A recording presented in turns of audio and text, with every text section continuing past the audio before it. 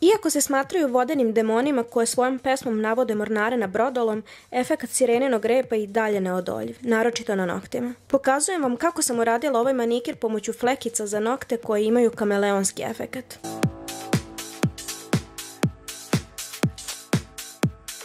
Kao baznu boju sam upotrebila sivo plavi metalik lak koji svetluca kroz mikrošimer i podsjeća na led.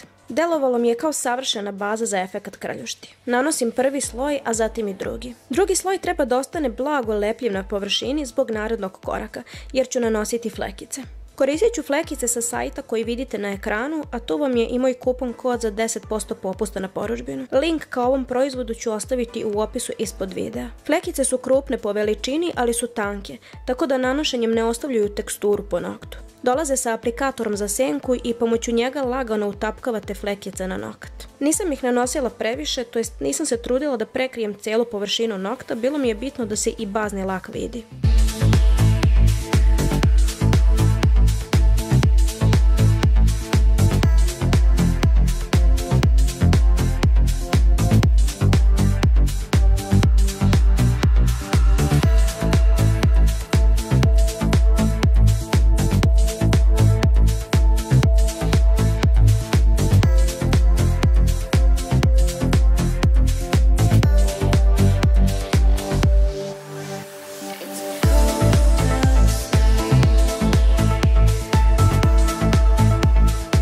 Nakon nanošenja sam koristila kabuke četkicu sa istog sajta i iznad maramice sam očistila ostatak praha sa noktiju kako bi pečatiranje koje je usledilo imalo ravnu površinu. Četkica je jako mekana, mnogo dobro čisti prah i stvarno sam oduševljena njenim kvalitetom. Link ka njoj će također biti u opisu ispod videa.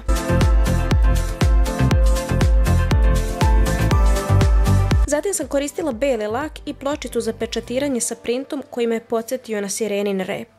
Svi linkovi će biti u opisu. Nanosim beli lak, prevlačim karticom i prenosim na nokat.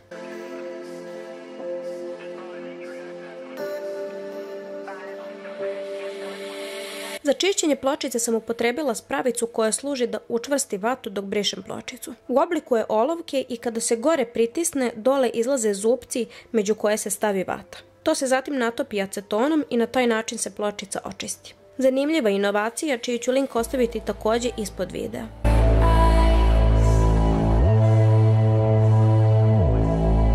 Sledi nanošenje brzosušećeg nadlaka i pokazivanje efekta na noktima. Trudila sam se da menjam što više uglove kao i da pomeram osvetljenje kako bi vam najbolje dočarala efekat na noktima koji je inače neuporedivo lepše izgleda uživo.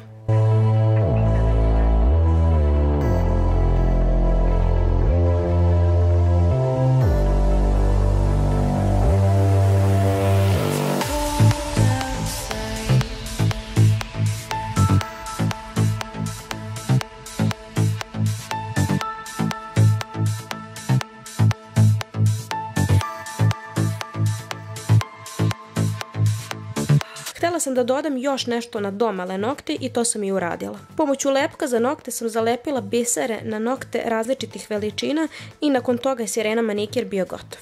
Hvala vam puno na gledanju ovog videa. Ukoliko vam se svideo, klikom na prozore na kraju videa možete vidjeti još neke tutoriale sa mog kanala.